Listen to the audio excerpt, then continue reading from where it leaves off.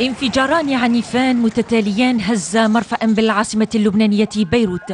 خلف عشرات الجرحى وأضرارا مادية كبيرة وهلعا وسط اللبنانيين؟ الدخان الكثيف الناجم عن الانفجارين تناقلته وكالات الأنباء المحلية والعالمية. فيما أشارت تقارير أولية إلى أن الانفجارين ناجمين عن مادة تي شديدة الخطورة.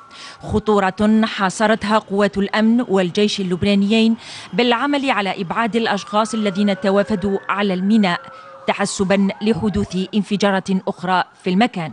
هذا وتعرضت العديد من المباني السكنية والمتاجر في معظم أنحاء العاصمة بيروت وضواحيها إلى تحطم واجهاتها الزجاجية في حين تسببت قوة موجة الانفجارين إلى تحطم وسقوط شرفات العديد من المباني إلى جانب تحطم العديد من السيارات وفي انتظار إنجلاء الدخان المتصاعد في سماء العاصمة بيروت تبقى التحقيقات الأمنية متواصلة لكشف ملابسات الحادث.